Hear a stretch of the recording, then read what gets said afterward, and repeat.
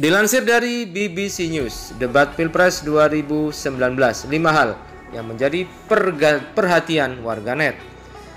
Debat pasangan kandidat capres cawapres menjadi perhatian warganet. Situs Fast mencatat bahwa dalam 5 jam dari pukul 18 hingga 23 ada lebih dari 52 ribu cuitan membahas jalannya debat.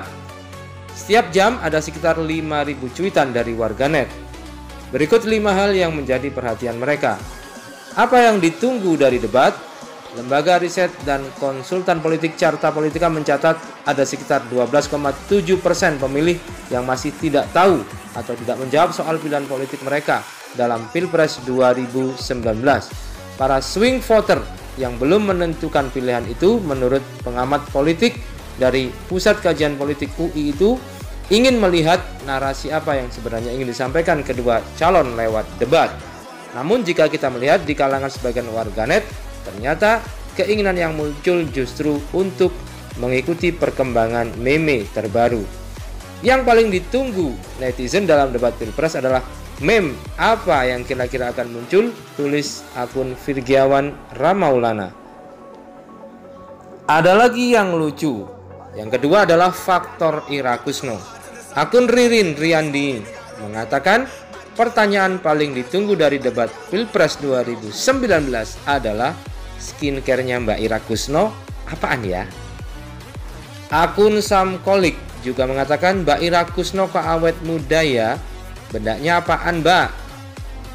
Tiga, soal hoax Ratna Sarumpait. Dalam debat, kandidat Capres Prabowo mempermasalahkan penegakan hukum aparat Jokowi yang disebutnya berat sebelah. Menurutnya kepala daerah yang mendukung Prabowo ditangkap, namun mereka yang mendukung Jokowi baik-baik saja. Jokowi menjawab, jangan menuduh begitu Pak Prabowo. Kalau ada bukti diajukan saja. Dia kemudian menyinggung soal hoax Ratna Sarumpait. Empat jawaban cukup Ma'ruf Amin dalam pertanyaan debat soal perbandingan antara ketegasan penegakan hukum dan perlindungan HAM. Waktu jawaban bagi pasangan kandidat Jokowi Ma'ruf masih tersisa sehingga Jokowi mempersilahkan kandidat capresnya Ma'ruf untuk menambah jawabannya. Namun, Kiai Ma'ruf menjawab cukup. Warganet pun membandingkan jawaban antara Ma'ruf Amin dengan kesempatan capres Sandiaga Uno yang sudah beberapa kali ikut berbicara dalam debat. Masalah HAM Pak Kiai silahkan menambahkan. Cukup. Sindir akun Bagafat Sambada.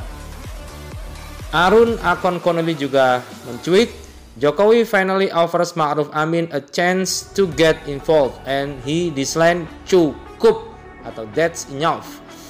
I support with Jokowi said. Meanwhile, Sandi has had a few opportunities already.